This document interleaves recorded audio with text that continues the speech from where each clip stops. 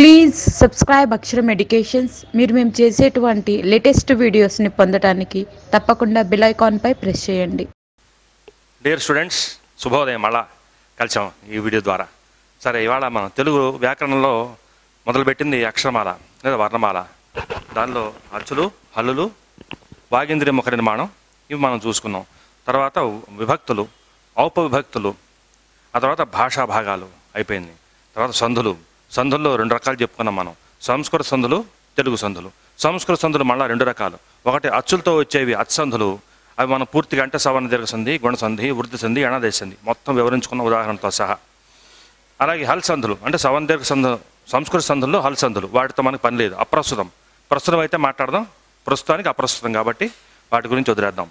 తర్వాత తెలుగు సంధులు తెలుగు సంధుల్లో నాలుగు రకాలు వర్గీకరించుకున్నాం లాస్ట్ వీడియోలో. ఒకటి మామూలుగా ఉకార సంధి ఇకార సంధి అకార సంధి మామూలు సంధులు అవి తర్వాత ఆదేశ సంధులు ఆగమ సంధులు లోప సంధులు ఇంత నాలుగు సంధులు తెలుగు సంధుల్లో మనం పూర్తి చేసుకున్నాం. ఇప్పుడు సమాస పరిచ్ఛేదము. అంటే సమాస పరిచ్ఛేదం అని బాల పరవస్తు చెన్నై సూరి గారు ఆయన బాల వ్యాకరణంలో రాసుకున్నారు. సమాస పరిచ్ఛేదం అని. మన సమాసాలు అని సమాసములు సమాసాలు వ్యవహారిక భాషలో సమాసాలు అంటాం తప్పులేదు ఇవాళ సమాసాల గురించి సంపూర్ణమైన అవగాహనతో వ్యాకరణంలో ముందుకెళ్తాం. ఎందుకంటే వ్యాకరణం అనేది ఎంత బాగా ఉంటే మనకి భాష మీద అంత పట్టు వస్తుంది. భాష మీద పట్టు రావడమే కాదు మనకి మార్కులు కూడా ఖచ్చితంగా మనం అసెస్ చేయొచ్చు. ఖచ్చితంగా మనకు సీటు ఒక పోస్టో మనం ఆత్మవిశ్వాసంతో దాన్ని ట్రై చేసి పొందవచ్చు కాబట్టి వ్యాకరణం అనేది చాలా అది అవసరం చాలా ముఖ్యం చాలా ప్రాముఖ్యమైంది. చాలామంది భయపడతారు. భయపడాల్సిన అవసరం కూడా లేదు. వ్యాకరణం అంత సులభం ఇంకోట్లేదు అర్థం చేసుకోవాలి మనం.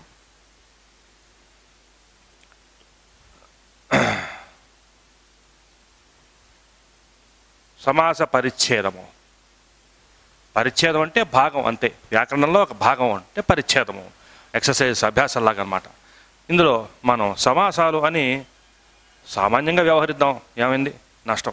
మనకు అర్థమైన భాషలో చెప్పుకుందాం. సమాసాలు. ఇవి నాలుగు గీతలు గీసాం అంటే నాలుగు రకాలుగా వర్గీకరించబడి ఉన్నాయి అని అర్థం చేసుకోవాలి. ఒకటి తత్పురుష సమాసాలు. తత్పురుష సమాసాలు. రెండవది తత్పురుష తత్పురుష బహువ్రీహి సమాసాలు. భావ సమాసాలు. ఒకటిగా.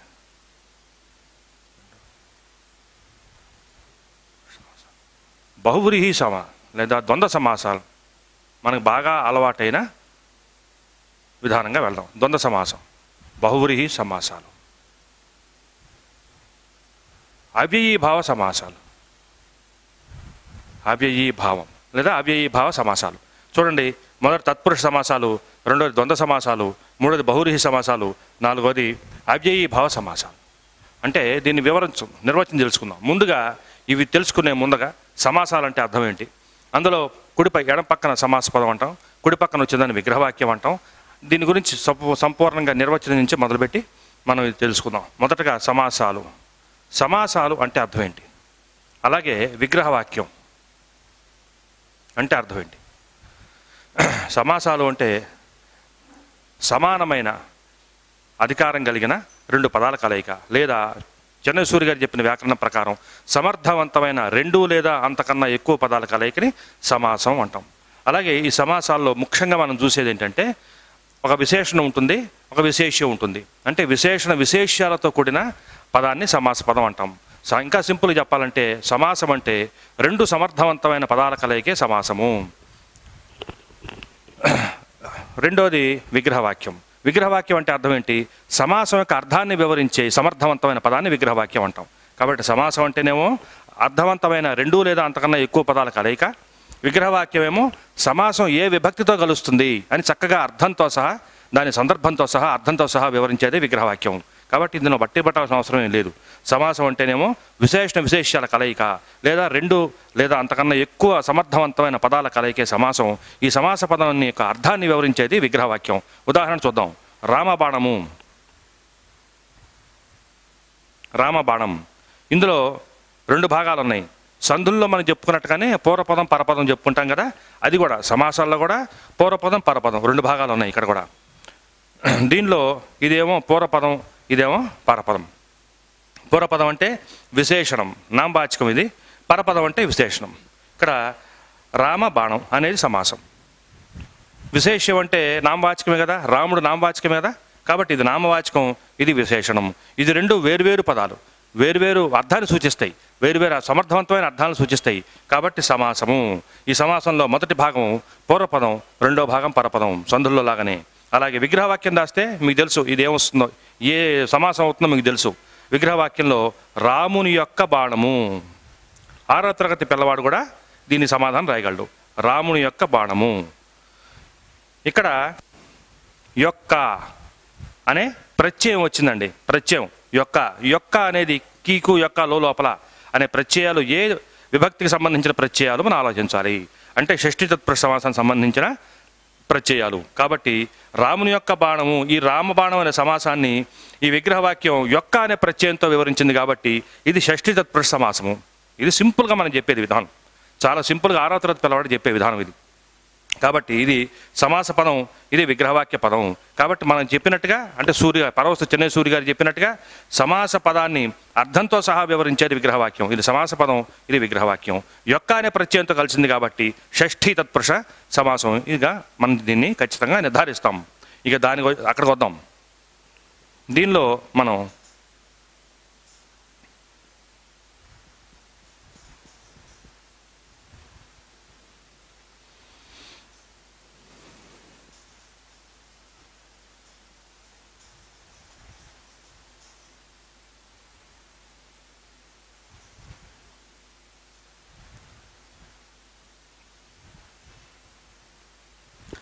చూడండి.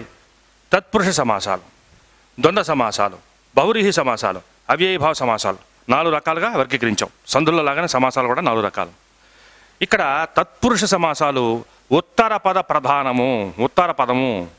మీకు ఇందాక చెప్పాను పూర్వ పదము ఉత్తర పదం సమాసాల్లో కానీ ఇక్కడ సమాసాల గురించి మాట్లాడుకుంటున్నాం కాబట్టి మనం. సమాసాల్లో పూర్వపదం పరపదం అంటే పూర్వపద పూర్వ పరపద లేదా పూర్వ ఉత్తర పద కలయికే సమాసము. రెండు సమర్థవంతమైన పూర్వ పరపదాల కలయికే సమాసము. ఇందులో తత్పురుష సమాసము ఉత్తర పద ప్రధానమైంది. అంటే తర్వాత పద పదం అనేది ప్రధానంగా వచ్చేవన్నీ కూడా తత్పురుష సమాసాలు. ఇంకా ద్వంద్వ సమాసము ఉభయ పద ఉభయ పద ప్రధానము. ఉభయ పద ప్రధానము అంటే పూర్వపదం ఉత్తర పదం రెండు కూడా ప్రధానంగా ఉంటాయి. బహురిహి సమాసము అన్యపదము మన ఉదాహరణలతో సహా వివరించుకుందాం. అప్పుడు మీకు బాగా అర్థమవుతుంది. బహురీహి సమాసం అన్యపదం అంటే అర్థం ఏంటి? అన్యపదం అంటే ఎక్కడో ఉన్న పదాన్ని గురించి తెలియజేసేది అన్యపదం అంటే సమాసంలో ఉన్న పదాలు వేరే బయట ఎక్కడో ఉన్న పదాన్ని గురించి బయట ఎక్కడో ఉన్న అర్థాన్ని సూచిస్తాయి కాబట్టి ఇది బహువ్రీహి సమాసం. బహువ్రీహి బహు అంటే వేరే వ్రీహి అంటే పదము. అంటే వేరే పదాన్ని సూచిస్తాయి సమాసంలో ఉన్న పదాలు. కాబట్టి సమాసంలో చూస్తే ఆ పదాన్ని మనకి అర్థం తెలియదు. ఆ పదం తెలియజేయదు. ఆ సమాసం యొక్క అర్థం సమాసంలో ఉన్న రెండు పదాలు బయట వేరే ఎక్కడో ఉన్న పదాన్ని సూచిస్తాయి కాబట్టి ఇది బహువ్రీహి సమాసం. ఇంకా అవ్యయీభావ సమాసము పూర్వపద ప్రధానమైంది. పూర్వపదం అంటే ముందున్న పదం. పూర్వపద ప్రధానం. డిఎస్సిలో ఇవన్నీ నాలుగు నాలుగు బిట్ ఏదైనా ఇవ్వచ్చు. కాబట్టి తత్పురుష సమాసాలు ఉత్తర పద ప్రధానమైన సమాసాలు. ద్వంద్వ ద్వంద్వ సమాసాలు ఉభయ పద ప్రధానమైన సమాసాలు బౌరిహి సమాసాలు అన్యపద ప్రధానమైన సమాసాలు అవ్యయభావ సమాసాలు పూర్వపద ప్రధానమైన సమాసాలు. ఇప్పుడు ఫౌండేషన్ ఏర్పాటు చేసాం అప్లికేషన్ ఇప్పుడు. ఇప్పుడు ఉత్త తత్పురుష సమాసాలు మళ్ళీ రెండు రకాలు.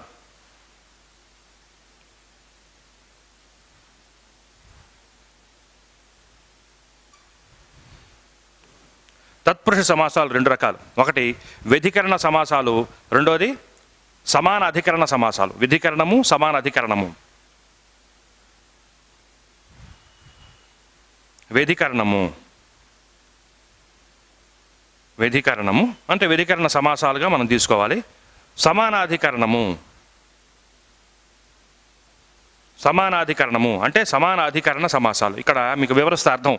వ్యధికరణం అంటే అర్థం ఏంటంటే విభక్తులతో కూడిన సమాసాన్ని వ్యధికరణ సమాసాలు. సింపుల్గా చాలా చాలా సింపుల్. వ్యధికరణం అంటే విభక్తులతో కూడిన సమాసాలని వ్యధికరణ సమాసాలు అంటారు.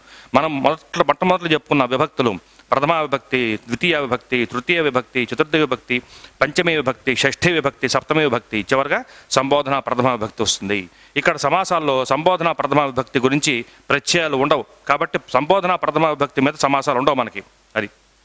అలాగే వ్యధికరణ సమాసాలు మొత్తం ఈ- వ్యధికరణం అంటే ఆ విభక్తిని గురించి వివరించే సమాసం కాబట్టి వ్యధికరణము. వ్యధి అంటే విభక్తి అని అర్థం. వ్యధికరణం అంటే ఆ సమాసం ఏ విభక్తితో కలుస్తుంది అని చెప్పేదే వ్యధికరణ సమాసాలు. ఇవి మొత్తం ఎనిమిది రకాలు. ఇందాక చెప్పిన ప్రథమా విభక్తి నుంచి సప్తమ విభక్తి వరకు అన్ని ఏడు విభక్తులు. దీన్ని ఎట్లా పిలుస్తాము ప్రథమా విభక్తి ప్రథమ తత్పురుష. చూడండి.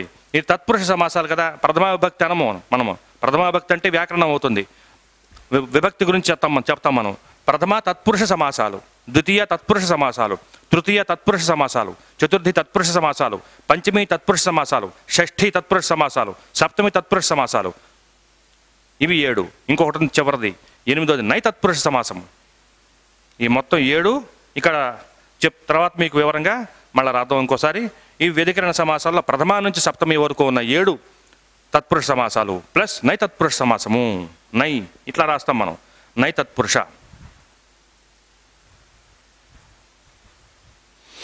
నైతత్పురుష సమాసాలు ఇవి ఏడు ఇది ఒకటి. మొత్తం ఎనిమిది సమాసాలు వ్యధికరణ సమాసాల కిందకు వస్తాయి. డిఎస్లో బిట్టేంటి? వ్యధికరణ సమాసాలు మొత్తం ఎన్ని? ఏడు ఎనిమిది తొమ్మిది పది. ఎనిమిది.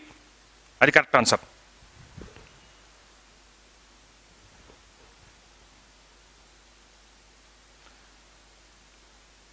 ఇంకా సమానాధికరణ సమాసాలు. సమానాధికరణ సమాసం. దీని నిర్వచనం చెప్పుకోవాలి మనం. సమాన అధికరణము. సమానమైన అధికారము కలిగిన రెండు పదాల కలయిక. ఇది సమాన అధికరణం అంటే. సమానమైన అధికారం అంటే రెండు పదాలకి పూర్వపదానికి పరపదానికి రెండింటికి కూడా సమానమైన అధికారం సమానమైన వెయిటేజీ మనం ఇస్తాం. సమానమైన ప్రాముఖ్యత ఇస్తాం. సమానమైన ప్రిఫరెన్స్ ఇస్తాం. కాబట్టి సమాన అధికరణం అంటే సమానమైన అధికారము కలిగిన రెండు పదాల కలయిక. ఆ రెండు పదాలు ఏమై ఉంటాయి? ఒకటి విశేషణము రెండోది విశేష్యము. అంటే విశేషణానికి ఎంత ప్రాముఖ్యం ఉందో విశేష్యానికి కూడా అంతే ప్రాముఖ్యం ఉంది. విశేషం అంటే నామవాచకము. అంటే నామవాచకం విశేషణం ఉంటుంది. పూర్వపదంగా పరపదంగా విశేషం ఉంటుంది.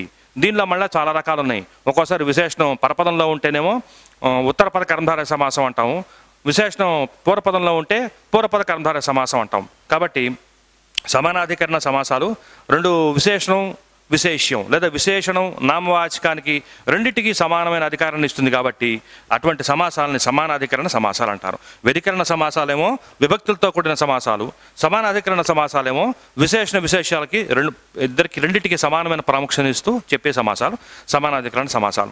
వ్యధికరణ సమాసాలు మొత్తం ప్రథమా నుంచి సప్తమి వరకు ఏడు ప్లస్ నైతత్పురుష సమాసంతో మొత్తం ఎనిమిది ఎనిమిది కూడా వ్యధికరణ సమాసాలు. ఇంకా సమానాధికరణ సమాసాలు మొత్తం ఏంటంటే మళ్ళీ రెండు రకాలు.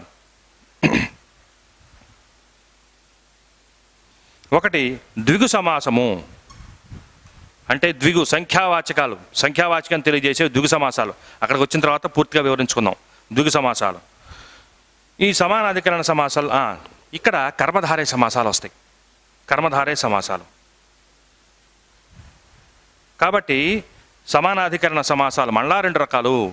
ఒకటి కర్మధారే సమాసాలు రెండోది దిగు సమాసము. దిగు సమాసం గురించి తర్వాత చెప్పుకుందాం మనం. కర్మధారే సమాసాలు మళ్ళా ఐదు రకాలు. మీకు వినే ఉంటారు మీరు. విశేషణ పూర్వపద కర్మధారయ సమాసము. అంటే విశేషణం అనేది పూర్వపదంలో ఉంటుంది. ఉదాహరణతో చెప్తాం మళ్ళా. విశేషణం అనేది పూర్వపదంలో ఉంటుంది. దాన్ని ఏమంటున్నాం అంటే విశేషణ పూర్వపద కర్మధారయ సమాసం. రెండోది విశేషణ ఉత్తర పద లేదా విశేషణ పర ఉత్తర పద అంటాం మనం పరపదం వద్దు.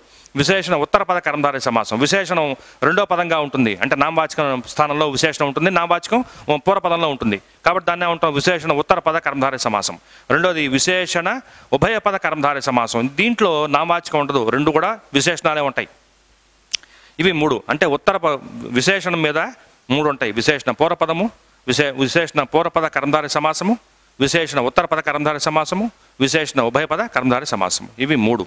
తర్వాత ఉపమానం మీద ఉంటాయి. ఉపమాన పూర్వపద కర్మధారి సమాసము. అంటే ఉపమానం పూర్వపదంలో ఉపమేయం పరపదంలో ఉంటుంది. ఉపమేయం అంటే ఇక్కడ నామవాచకంగా మనం తీసుకుంటాం. అంటే ఉపమాన పూర్వపద కర్మధారి సమాసం అంటే పూర్వపదంలో ఉపమానం ఉంటుంది పరపదంలో నామవాచకం ఉంటుంది. ఉపమానం అంటే పో పోల్చే వస్తువు ఉపమేయం అంటే పోల్చబడేది. మళ్ళీ అలంకారాలు చెప్పుకుంటాం మనం.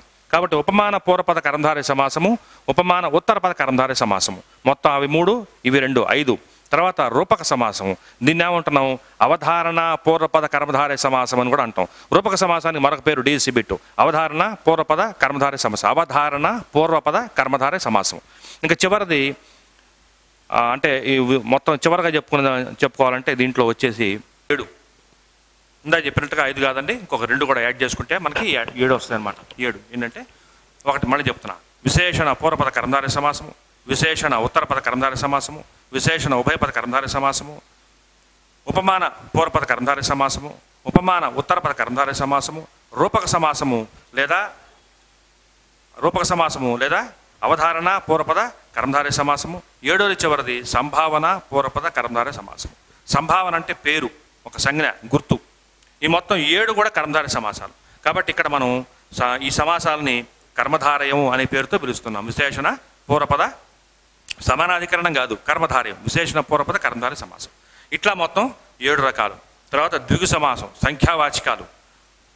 తర్వాత ఇవి తత్పురుష సమాసాలకు సంబంధించిన మొత్తం వివరణ ఆక్రమించాం తత్పురుష సమాసాలు ఈ రెండు రకాలు.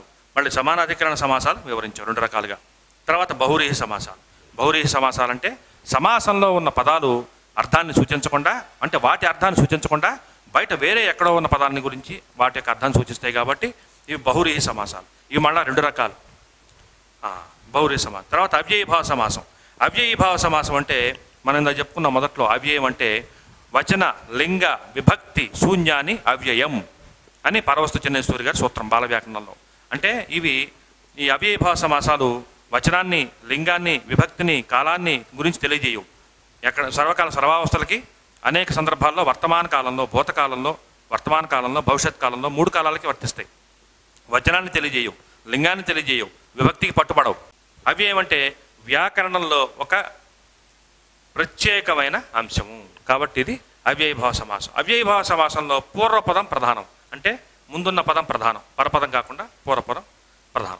ఈ విధంగా మనం సమాసాన్ని మొత్తం వివరించుకున్నాం ఇప్పుడు వ్యధికరణ సమాసాల గురించి మనం మాట్లాడుకుందాం.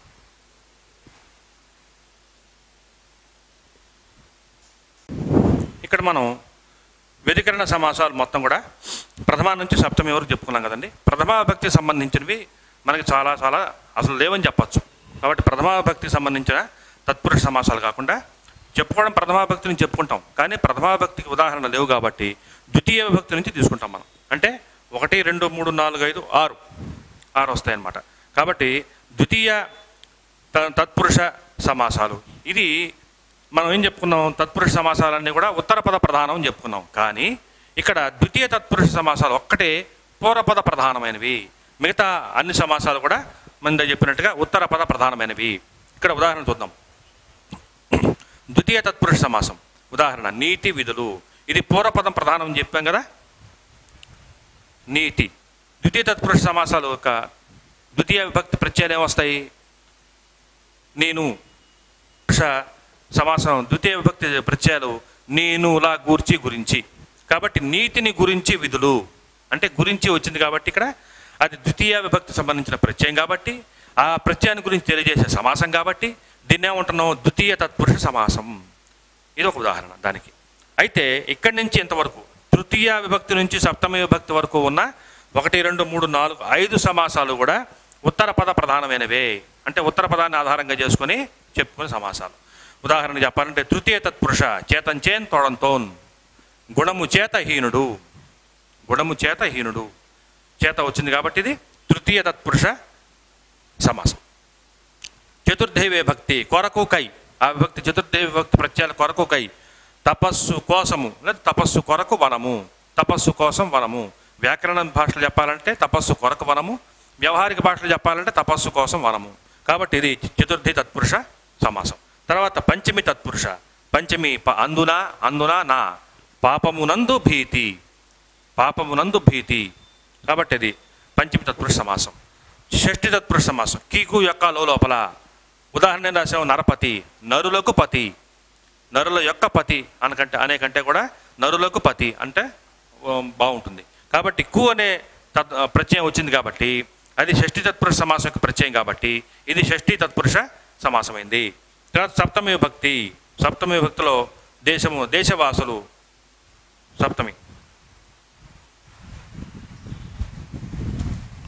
సప్తమి తత్పురుష సమాసం. దేశము అందున నా వచ్చింది కాబట్టి ప్రత్యయాలు దేశమునందు వాసులు. దేశంలో వాసులు దేశం అందునాన కాబట్టి దేశమునందు వాసులు. ఇట్లాగ మనం విభక్తికి సంబంధించిన ప్రత్యయాలన్నీ వస్తాయి కాబట్టి వీటిని వ్యతికరణ సమాసాలుగా మనం భావి మనం చెప్తాం. ఇక చివరికి దీంట్లో మనం ఇంకోటి చెప్పుకుందాం. నైతత్పురుష సమాసం. నైతత్పురుష సమాసం. వ్యతికరణ సమాసాల చివరిది నైతత్పురుష సమాసం. నై అంటే హిందీ నై కాదు. ఇక్కడ ఏమొస్తుందంటే లేనిది కానిది లేనివారు కానివారు వ్యతిరేక అర్థం వస్తుంది. నకారంతో కూడిన వ్యతిరేక అర్థం వస్తుంది అనమాట ఉదాహరణ చెప్పాలంటే అంటే ప్రారంభంలో అక- అకారం ఉంటుంది విగ్రహవాక్యంలో కానిది లేనిది కానివారు లేనివారు ఏకవచనం అయితే కానిది లేనిది బహువచనం అయితే కానివారు లేనివారు ఇలా వస్తాయి. అదృష్టము. దృష్టము కానిది. దృష్టము కానిది. అనంతము. అదృష్టము దృష్టము కానిది అనంతము అంతము లేనిది అంతం లేనిది. ఇంకోటి చెప్పు. అన్యాయము. ఇది మీరు చెప్పేయచ్చు. అన్యాయము. న్యాయము కానిది. న్యాయము కానిది. అధర్మము. ధర్మం కానిది. అన్నిట్లో మీరు గమనిస్తే లేనిది కానిది అనే పదం వచ్చింది. కాబట్టి లేనిది కానిది ఏకవచనం అయితే కానిది లేనిది వస్తుంది బహువచనం అయితే లేనివారు కానివారు వస్తుంది. కాబట్టి ఇక్కడ ఆ కకారం అనేది వ్యతిరేకార్థాన్ని సూచిస్తుంది కాబట్టి నైతత్పురుష సమాసానికి ఉదాహరణలు. దీంతో మనం వ్యధికరణ సమాసాలు పూర్తి చేసుకున్నాం. ఇక్కడ మనం సమాన అధికరణ సమాసాల్లో కర్మధారయ సమాసాలు విధికరణ సమాసాలు అయిపోయినాయి. సమాన అధికరణ సమాసాలు రెండు రకాలుగా మనం చెప్పుకుంటాం. మొదటిది విశేషణ. ఈ మొత్తం ఏడని చెప్పుకున్నాం కదా మనం. అదే దిగు సమాసం. అది సెపరేట్ అది వేరే విధానం. విశేషణ పూర్వపద కర్మధారే సమాసం. విశేషణ పూర్వపద కర్మధారే సమాసం. దీనిలో దీనికి ఉదాహరణ ఏంటంటే విశేషణం ఎక్కడ ఉంటుంది పూర్వపదంలో ఉంటుందన్నమాట. పూర్వపదం అంటే ఇది. నల్లని తెల్లని ఎర్రని ఇవన్నీ విశేషణాలే కదా. విశేషణం అంటే అసలు అర్థం ఏంటి? నామవాచకం సర్వనామం యొక్క గుణాన్ని తెలియజేసేది విశేషణము. మనం బట్టి పట్టకుండా అర్థం చేసుకుంటే చాలా మంచిది. నామవాచకం సర్వనామం యొక్క విశ గుణాన్ని స్థితిని గుణం దాని యొక్క క్వాలిటీ అంటాం కదా గుణాన్ని తెలియజేసేది విశేషణము. కాబట్టి కలువ ఎట్లా ఉంది? నల్లగా ఉంది. నల్లని కలువ? లేదా నల్లనైన కలువ? నల్లని కలువ?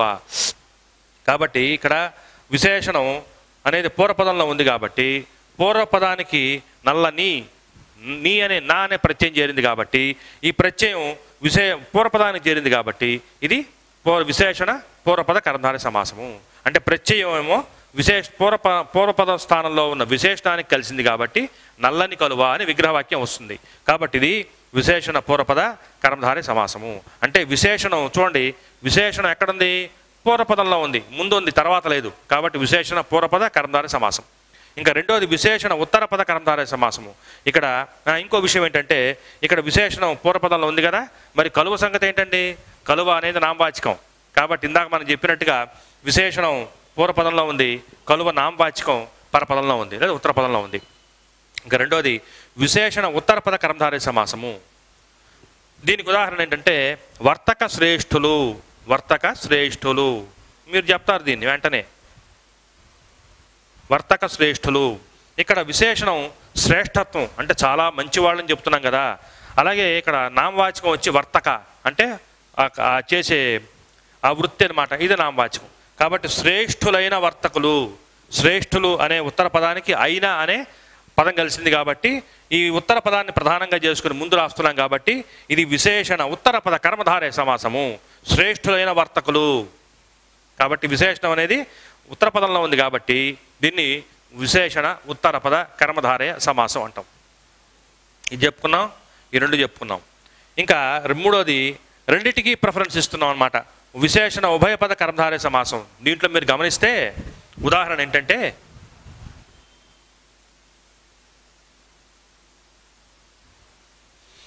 దీనికి ఉదాహరణ శీతోష్ణము శీతోష్ణము. ఇది ద్వంద్వ సమాసం కదండి? కాదు. ద్వంద్వ ద్వంద్వ సమాసం పరిస్థితి పద్ధతి వేరుగా ఉంటుంది. అక్కడ నామవాచకాలు ఉంటాయి. విశేషణాలు ఉండవు. ద్వంద్వ సమాసానికి మీకు అనుమానం వస్తుంది ఖచ్చితంగా డిఎస్సిలో ఏమంటే ఇది విశేషణ ఉభయపద కర్మధార సమాసమా? లేకపోతే ద్వంద్వ సమాసమా అండి? ద్వంద్వ సమాసంలో నామవాచకాలు ఉంటాయి విశేషణాలు ఉండవు విశేషణం ఉన్నది అంటే అది విశేషణ పూర్వపదం పూర్వపదంలో ఉంటే పూర్వపద కర్మధార సమాసం. పరపదంలో ఉంటే పరపద కర్మధార సమాసం. లేదు రెండు విశేషణాలు అయితే ఇది ఇబ్బందే లేదు. విశేషణ ఉభయపద కర్మధార సమాసం. కాబట్టి ఇక్కడ శీతోష్ణము అనే పదం తీసుకున్నాము. శీతమును ఉష్ణమును. ఇవి నామవాచకాలు కావుగా? సీతారాములు సీతయును రాముడును ద్వంద్వ సమాసం. ఇవి నామవాచకాలు కావుగా? విశేషణమే కదా?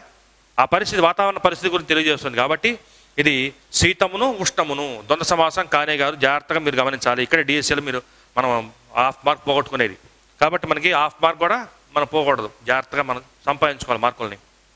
కాబట్టి విశేషణ ఉభయపద కర్మధార సమాసం. విశేషణం పూర్వపదంలో ఒకటి ఉంది పరపదంలో ఒకటి ఉంది. శీతమును ఉష్ణమును. కాబట్టి విశేషణ ఉభయపద కర్మధారయ సమాసం. కాబట్టి వీటి గురించి విశేషణ విశేషణానికి సంబంధించిన మూడు సమాసాలు మనం చెప్పుకున్నాం. కర్మధార సమాసాలు కూడా. ఇప్పుడు ఉపమాన పూర్వపద కర్మధార సమాసం. అంటే అర్థం ఏంటంటే ఉపమానము అంటే పోల్చే వస్తువు. మన అలంకారంలో వస్తుంది ఉపమాలంకారము ఉప్మా కాదండి ఉప్మా అంటే టిఫిన్ అది కాదు.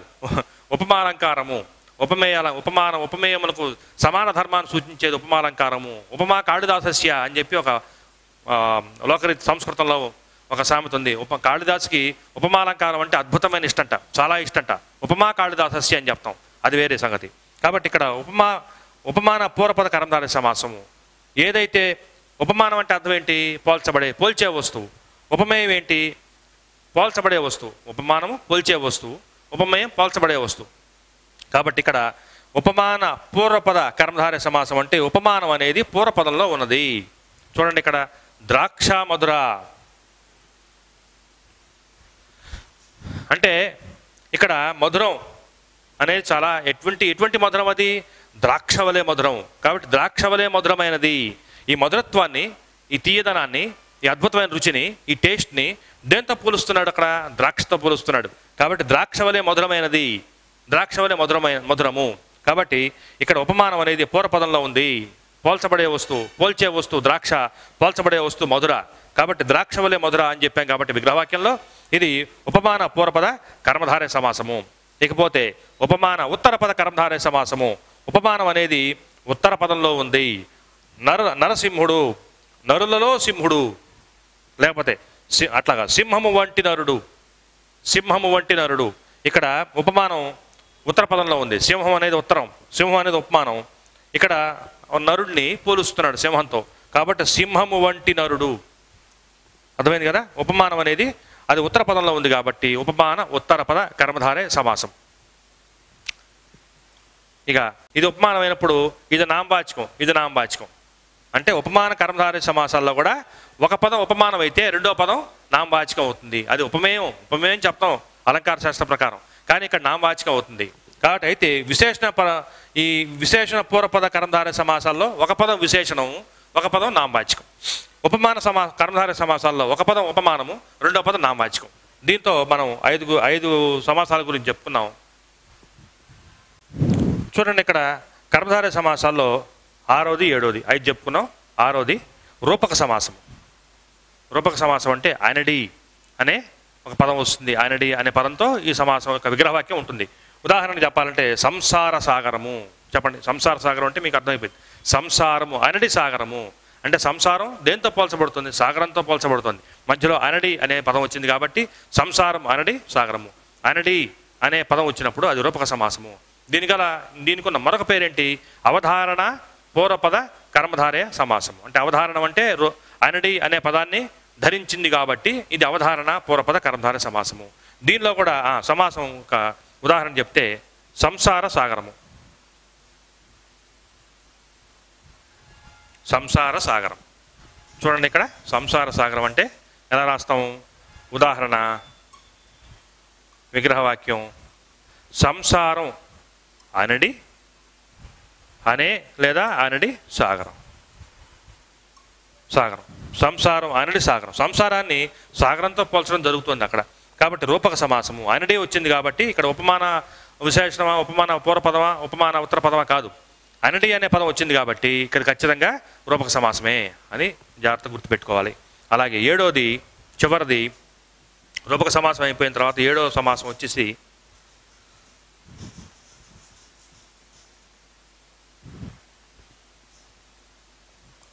సంభావన పూర్వపద పూర్వపద కర్మధారే సమాసం. సంభావన పూర్వపదం.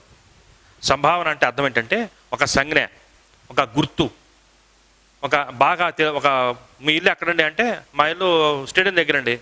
అంటే గుర్తు సంగన్ అంటే గుర్తు అనమాట అని ఖచ్చితమైన గుర్తు చెప్పడం. దీనికి ఉదాహరణ చెప్పాలంటే మిథిలా నగరము. మిథిల అను పేరు గల నగరము. మిథిలా నగరము. అనేక నగరాలు ఉంటాయి. ఏ నగరం చెప్తాం? మిథిలా నగరం అంటే ఆ మిథిలా నగరం అండి. వెంటనే గుంటూరా అంటాం. కోస్తా జిల్లాలంటే ఏ కోస్తా జిల్లాలంటే ఏంటండి? గుంటూరు గుంటూరు జిల్లానా అని చెప్తాం కదా. కాబట్టి మిథిలా నగరం అంటే మిథిల అనే పేరు గల నగరము. అలాగే సింసుపా వృక్షము సింసుపా వృక్షము సింసుపా అనే పేరు గల వృక్షము. మిథిలా నగరము మిథిల అనే పేరు గల నగరము. ఆ నగరం పేరు మిథిల కాబట్టి ఆ నగరం మిథిల అనే సంగతితో సూచి సూచించబడుతుంది కాబట్టి ఇది సంభావనాపూర్వపద కర్మధార సమాసము. ఒక పేరుని సూచించడం సంభావన. ఒక వ్యక్తి పేరు శ్రీనివాసరావు. సీను అంటే మర్యాదగా మామూలుగా ఫ్రెండ్స్ అయితే సీను ఆ సీను అని పిలుస్తాం. సీను అంటే నలుగురిలో సీను అనే పేరు గల నీ ఫ్రెండే పలుకుతాడు. ఇంకో సుబ్బారావు ఇంకొక రమేషో మహేషో పలకడు. అంటే అర్థం ఏంటి? ఆ వ్యక్తి పేరు సీను. కాబట్టి నగరం ఆ నగరం యొక్క పేరు మిథిల. ఆ నగరం మిథిలా నగరం కాబట్టి మిథిల అనే పేరుతో మనం ఆ నగరాన్ని పిలుస్తున్నాం కాబట్టి ఇది సంభావన పూర్వపద కర్మధార సమాసము. అలాగే సింసుపా వృక్షం అనేక వృక్షాలు ఉంటాయి. అందులో సింసుపా అనేది ఒక వృక్షం కాబట్టి సింసుపా అనే పేరు గల వృక్షము. ఇది కూడా సంభావన పూర్వపద కర్మధార సమాసము. ఇక్కడ పూర్వపదం అని ఎందుకన్నాం సంభావించే పదం పూర్వపదంలో ఉంది. నగరం అనేది నామవాచకం పరపదంలో ఉంది. దాని గురించి మనం అప్రస్తుతం. అలాగే సింసుప అనేది పూర్వపదంలో ఉంది. ఈ సంభావన. వృక్షం అనేది నామవాచకం పరపదంలో ఉంది. కాబట్టి సంభావన అనేది పూర్వపదంలో ఉంది కాబట్టి పూర్వపద ప్రధానమైన సమాసం కాబట్టి దీన్ని సంభావన పూర్వపద కర్మధారి సమాసం. ఇవి రెండు నామవాచకాలు. అంటే దీంట్లో కూడా నామవాచకాలు పక్కన ఉంటాయి ఉత్తర పదంలో ఉంటాయి. సంభావనగా భావించబడే పదాలు పూర్వపదంలో ఉంటాయి కాబట్టి దీన్ని సంభావన పూర్వపద కర్మధారి సమాసం అంటాం. అయితే మీకు డౌట్ వస్తుంది సంభావన ఉత్తర పదంలో సంభావన ఉత్తర పదం ఉండదు సంభావన ఉభయ పదం ఉండదు. సం విశేషణ పూర్వపదం విశేషణ ఉత్తర పదం విశేషణ ఉభయ పదం. అలాగే ఉపమాన పూర్వపదం ఉపమాన ఉత్తర పదం. అలాగే రూపక సమాసం. చివరగా సంభావన పూర్వపద కర్మధార సమాసము. మొత్తం ఏడు సమాసాలతో మనం కర్మధార సమా సమానాధికరణ సమాసాల్లోని కర్మధార సమాసాలను ముగించాం కాబట్టి ఇంకా ఇంకా మీరు ఇంకొక విషయం గ్రహించాలి. సమానాధికరణ సమాసాలకు ఉన్న మరొక పేరు డిఎస్సి బిట్టు. కర్మధారే సమాసాలు. కర్మను ధరించిన సమాసాలు కాబట్టి కర్మధారే సమాసాలు. ఇప్పుడు మనం ద్విగ సమాసం గురించి చెప్పుకుందాం. ఇప్పుడు మనం సమానాధికరణ సమాసాల్లో వ్యధికరణ సారీ కర్మధారే సమాసాల గురించి చెప్పుకున్నాము. సమానాధికరణ సమాసాల్లో కర్మధారి సమాసాలు అయిపోయినాయి. రెండోది ద్విగు సమాసం. ద్విగు అంటే సంఖ్యావాచకాలు అనమాట చాలా చాలా చాలా సులభంగా గుర్తుపట్టచ్చు దీన్ని మనం. ఎక్కడ ఏ పేపర్లో బిట్ పేపర్లో ఎక్కడ ఇచ్చినా సరే. ద్విగు సమాసం అంటే సంఖ్యా సంబంధిత సమాసాలు. అంటే సంఖ్య విశేషణం అనమాట సంఖ్య అనేది విశేషణం కదా. కాబట్టి ఇక్కడ విశేషణం అనేది సంఖ్య అవుతుంది. విశేష్యం నామవాచకం అనేది తర్వాత పదంగా ఉంటుంది అనమాట ఇక్కడ మళ్ళీ దీంట్లో ఉత్తర పదం ఈ ద్విగు సమాసంలో ఉత్తర పదం పూర్వ పదం అట్లా ఏం ఉండదు. ఉంద ఒకటే సమాసం. ద్విగు సమాసం అనేవి సంఖ్యా నిమిత్తమైన వాచకాలు. సంఖ్యను తెలియజేసే సమాసాలు కాబట్టి ద్విగు సమాసాలు. దీనికి ఉదాహరణ చెప్పాలంటే శతయోజనాలు. శతయోజనాలు. అలాగే సహస్రాక్షులు. సహస్రాక్షులు. పంచయజ్ఞములు.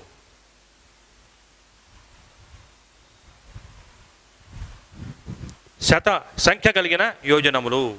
సంఖ్య అనేది వస్తుంది కదా. సహస్రాక్షులు సహస్రము సహస్ర సంఖ్య కలిగిన అక్షులు పంచయజ్ఞములు పంచ సంఖ్య కలిగిన యజ్ఞములు సంఖ్య కలిగిన సంఖ్య గల అనే పదం వస్తుంది కాబట్టి ఇది ద్విగు సమాసము. దీంతో మనం సమానాధికరణ సమాసాల్లో ఉన్న మొదటి రకం కర్మధారయ సమాసాలు అందులో ఉన్న ఏడు రకాలు ఐదు రకాలు అలాగే రెండవ రెండో రకం ద్విగు సమాసం. ద్విగు సమాసంలో ఉదాహరణ చెప్పుకున్నాం. తర్వాత ఈ రెండు అయిపోయింది కాబట్టి ద్వంద్వ సమాసం గురించి మనం చెప్పుకుందాం. ద్వంద్వ సమాసం. మనం ఇంత ఇంతవరకు నాలుగు సమాసాల్లో ఒక సమాసం గురించి చెప్పుకున్నాం. తత్పురుష సమాసాలు పూర్తిగా కూలంకషంగా చెప్పుకున్నాం. రెండోది ద్వంద్వ సమాసం. ద్వంద్వ సమాసం అంటేనే మీకు తెలుస్తుంది దాంట్లో రెండు రకాలుగా ఉంటాయి. రెండు కూడా నామవాచకాలే ఉంటాయి. రెండు నామవాచకాలు విశేషణాలు ఉండవు. ఉదాహరణ చెప్ప ఇవి మళ్ళా రెండు రకాలు. ద్వంద్వ సమాసము బహుద్వంద్వ సమాసం లేదా బహుపద ద్వంద్వ సమాసం. ఇక్కడ ఈ ద్వంద్వ సమాసం అనేది ఉభయ పదాలు ప్రధానంగా ఉంటాయి. పూర్వపదం కాదు పరపదం కాదు రెండు పదాలు కూడా ప్రధానంగా ఉంటాయి. కాబట్టి దీన్ని ఏమంటున్నాం? ఉభయ పద ప్రధానం కలిగిన సమాసాలు. డిఎస్ఎల్ బిట్ ఏంటి? ఉభయ పదాలు ప్రధానంగా కలిగిన సమాసము. ఈ నాలుగు పేర్లు ఇస్తాడు. ద్వంద్వ సమాసం అని చెప్పి మీరు బబ్లింగ్ చేయాల్సి వస్తుంది అనమాట జాగ్రత్తగా. కాబట్టి ద్వంద్వ సమాసం రెండు రకాలు. మామూలుగా ద్వంద్వ సమాసం రెండోది బహుపద ద్వంద్వ సమాసం లేదా బహుద్వంద్వ సమాసం. ఇవి ఉదాహరణ చెప్పాలంటే మీకు తెలుసు. సీతారాములు. సీతయు రాముడును. రామలక్ష్మణులు రాముడును లక్ష్మణుడును. పార్వతీ పరమేశ్వరులు అంటే చివరిలో రెండవ రామవాచకాలు కాబట్టి లు దుమువులు ప్రథమ భక్తిలో ద్వితీయ బహువచనం ప్రకారం లు చేరుతుంది ప్రత్యయంగా పార్వతీ పరమేశ్వరులు పార్వతీయును పరమేశ్వరుడును. ఇది ద్వంద్వ సమాసం. ఈ ద్వంద్వ సమాసంలో రెండు నామవాచకాలేగా విశేషణాలు ఎక్కడ ఉన్నాయి కాబట్టి ద్వంద్వ సమాసంలో విశేషణాలు ఉండవు నామవాచకాలు ఉంటాయి అని గ్రహించాలి మీరు. అలాగే ఇంకో బిట్టు అప్లికేషన్ టైప్లో ఏమిస్తాడు ద్వంద్వ సమాసంలో ఉండేవి. కింద బబ్లింగ్ నామవాచకాలు విశేషణాలు అవ్యయము ఇంకా విభక్తులు ఏదో ఇస్తాడు. ఇట్లా ఇచ్చినప్పుడు మీరేం గుర్తుంచుకోవాలి? ద్వంద్వ సమాసంలో ఎట్టి పరిస్థితుల్లోనూ కూడా నామవాచకాలే వస్తాయి. విశేషణాలు రావు. నామవాచకాలు వస్తాయి. ఏం చెప్పి గుర్తుపెట్టుకోవాలి. ఇక బహుపద ద్వంద్వ సమాసం అంటే బహుపదం అంటే రెండు కంటే ఎక్కువ నామవాచకాలు ఉన్నప్పుడు అవి బహుపద ద్వంద్వ సమాసాలు. చాలా చాలా ఈజీ. రామ లక్ష్మణ భరత శత్రుఘ్నుడు అనే సమాస పదం ఉన్నప్పుడు విగ్రహవాక్యం ఎట్లా రాస్తాము? రాముడును లక్ష్మణుడును భరతుడును శత్రుఘ్నుడును అని రాస్తాం. అలాగే సీతారామ లక్ష్మణులు సీతయ్యను రాముడును లక్ష్మణుడును అంటే రెండు కంటే ఎక్కువ ఉంటే అది బహుపర ద్వంద్వ సమాసము లేదా బహుపర ద్వంద్వ సమాసము. రెండు ఉంటే ద్వంద్వ సమాసము. అసలు రెండు అంటేనే ద్వంద్వం. ద్వంద్వం అంటే రెండు. అంతకంటే ఎక్కువ ఉంటే బహుపర ద్వంద్వ సమాసము. ఇంకా బ్రహ్మ విష్ణు మహేశ్వరులు బ్రహ్మయును విష్ణువును మహేశ్వరుడును. మామూలుగా చెప్పాలంటే సుబ్బారావు పుల్లారావు రమేష్ అనుకో. సుబ్బారావు పుల్లారావు రమేష్. అంటే రెండు కంటే ఎక్కువ నామవాచకాలు ఉన్నాయి కాబట్టి ఇవి బహుపర ద్వంద్వ సమాసం. ఇది చాలా ఈజీ గుర్తుపెట్టుకోవచ్చు. ఇక బహురిహి సమాసం. బహురిహి సమాసం అనేది అన్యపద ప్రధానమైనది. అంటే అర్థం ఏంటంటే బహుప బహురిహి సమాసంలో ఆ సమాసం తన అర్థాన్ని చెప్పదు. ఎక్కడో ఉన్న పదాన్ని గురించి బయట వేరే ఎక్కడో బయట ఉన్న పదాన్ని గురించి అర్థాన్ని వివరిస్తుంది కాబట్టి అది బహురిహి సమాసం. ఉదా ఉదాహరణతో మనం చూద్దాం. మనం తత్పురుష సమాసాలు చెప్పుకున్నామండి. రెండవది ద్వంద్వ సమాసం గురించి చెప్పుకున్నాం. మూడవది బహురిహి సమాసం. బహురిహి సమాసం ఏం చెప్పాము అన్యపదం ఇదిగోండి. అన్యపద ప్రధానమైనది బహురిహి సమాసము. అంటే సమాసంలో తన ఏవైతే పదాలు ఉన్నాయో వాటి గురించి అవి చెప్పుకోవు. ఎక్కడో ఉన్న పదాల గురించి ఎక్కడో ఉన్న వ్యక్తిని గురించో ఎక్కడో ఉన్న వస్తువుని గురించి చెప్తాయన్నమాట. కాబట్టి బహురిహి సమాసాలు అన్యపద ప్రధానమైన సమాసాలు. దీన్ని గుర్తుపెట్టుకోవడం గుర్తుపట్టడం చాలా చాలా సులభం. కలవాడు కలది అనే పదాలు చివరి జారుతాయి సమాస సమాసంలో విగ్రహవాక్యం చివరి జారుతాయి కాబట్టి వీటిని బౌరీహి సమాసాలుగా మనం చాలా తేలిగ్గా గుర్తుపట్టచ్చు. ఉదాహరణల ద్వారా మీకు చాలా బాగా అర్థమవుతుంది. ఒకటి పినాకపాణి. పినాకపాణి. రెండోది గమనించండి అర్థాలు. పదాలు జాగ్రత్తగా మీరు గమనిస్తే మీరే చెప్పగలరు. కోదండపాణి. దామోదరుడు. గరళకంఠుడు చూడండి పినాకపాణి. పినాకము అంటే ధనుస్సు. పరమేశ్వరుడి చేతిలో ఉండే ధనుస్సు పేరు పినాకము. పినాకము పాణినందు కలవాడు. అంటే పినాకం అనే ధనుస్సును చేతిలో ధరించిన వాడు. ఇక్కడ పినాకము అనేది ఏమో పూర్వపదం పాణి అనేది పరపదం. వాటి గురించి అవి చెప్పుకోవు. ఎక్కడో మన పరమేశ్వరుడు గురించి చెప్తుంది కాబట్టి పినాకము పాణినందు కలవాడు. కలవాడు వచ్చింది కదా? స్త్రీలింగం అయితే కలది వస్తుంది పుంలింగం అయితే కలవాడు. ఏకవచనం అయితే కలది బహువచనం అయితే కలవారు. బహువచనంలో లింగభేదం లేదు. స్త్రీలైనా పురుషులైనా కలవారనే వస్తుంది. కాబట్టి అది మీరు గుర్తుపెట్టుకుంటే పినాకం పాడినందు కలవాడు శివుడు. చూడండి శివుడు అనే పదం ఏమైనా సమాస పదంలో ఉందా? లేదు కదా? విగ్రహవాక్యం ఏమొచ్చింది? శివుడు. ఇది బహువ్రీహి సమాసం. ఎక్కడో నా వ్యక్తిని గురించి చెప్పింది. అలాగే కోదండ పాణి. కోదండము పాణినందు ధరించిన వాడు. అది శ్రీరాముడు ధరించే విల్లు పేరు కోదండం. ఇది ఊరికే చెప్పట్లేదండి. DSC bit. శివుడు ధరించే విల్లు పేరు పినాకము. శ్రీరాముడు ధరించే విల్లు పేరు కోదండము. ఇవి రెండు కూడా డిఎస్సి బిట్లే. కాబట్టి కోదండము పాణినందు ధరించిన వాడు శ్రీరాముడు. దామోదరుడు దామము ఉదరమునందు కలవాడు విష్ణుమూర్తి నాభి నుంచి పద్మం వస్తుంది కాబట్టి దామం అంటే పద్మం కాబట్టి దామోదరుడు దామము ఉదరమునందు కలవాడు విష్ణుమూర్తి.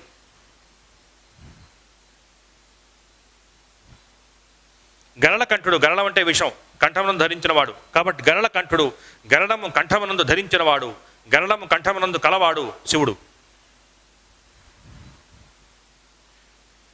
ఇవి ఈ సమాస పదాల్లో ఎక్కడన్నా దీని గురించి వివరించామా విగ్రహవాక్యంలో? లేదు.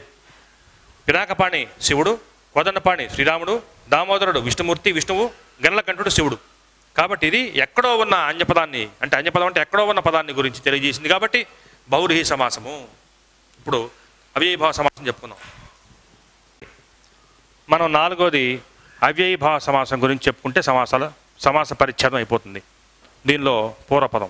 అంటే అవ్యయీభావ సమాసం అనేది పూర్వపద ప్రధానమైన సమాసము. ఇక్కడ మనం గ్రహించాల్సింది మీరు జాగ్రత్తగా చూడాల్సింది అవ్యయీభావము. అంటే అవ్యయము భావంగా కలిగింది అని అర్థం. అవ్యయం అంటే ఏం చెప్పారు సూర్య గారు పరవస్తు చెన్నై సూర్య గారు వచన లింగ విభక్తి. వచన లింగ విభక్తి శూన్యాన్ని ఇది అవ్యయం. అంటే వచనం ఉండదు విభక్తి ఉండదు లింగం ఉండదు. వీటికి సమానం వీటికి సంబంధించిన అంశం అయి ఉండదు కాబట్టి అది అవ్యయము. అవ్యయం అంటే అసలు ఖర్చు కానిది ఖర్చు లేనిది అన్నట్టు సాధారణంగా వ్యవహారిక భాషలో చెప్పుకుంటాం. కాబట్టి అవ్యయ భావం అంటే ఇదనమాట వచన లింగ విభక్తి శూన్యాన్ని ఇది అవ్యయం. ఇది నిర్వచనం సూత్ర ప్రకారంగా. పరవస్తు చెన్నైసూరి గారు చెప్పిన బాల వ్యాకరణంలో చెప్పిన సూత్రం అది. ఇది పూర్వపద ప్రధానమైంది. అంటే పూర్వపదంలో అవ్యయం ఉంటుంది పరపదంలో నాంబాచికం ఉంటుంది. విశేషణం ఉండదు ఇక్కడ. మీరు చాలా జాగ్రత్తగా గుర్తుపెట్టుకోవాలి. అవ్యయ భావంలో పూర్వపదం అవ్యయం ఉంటుంది పరపదం నాంబాచికం. డిఎస్ఎల్ బిట్ ఇస్తాడు? అవ్యయ భావ సమాసంలో పరపదంగా వచ్చేది. నాంబాచికం సర్వనామం విశేషణం క్రియ నాంబాచికం. కరెక్ట్ ఆన్సర్ బబ్లింగ్ చేయాలి. కాబట్టి ఇవన్నీ చాలా జాగ్రత్తగా అర్థం చేసుకుంటే మీకు గుర్తుండిపోతాయి. బట్టి పడితే మాత్రం చాలా కన్ఫ్యూజ్గా ఉంటుంది. అర్థం చేసుకుని ముందుకెళ్ళాల్సి వస్తుంది. యథాశక్తి చూడండి. అవ్యయం అనేది ఇది అవ్యయం. ఇది నాంబాచికం. ఆబాల ఇది అవ్యయం. ఇది నాంబాచికం. కనుక యథాశక్తి శక్తిని అనుసరించి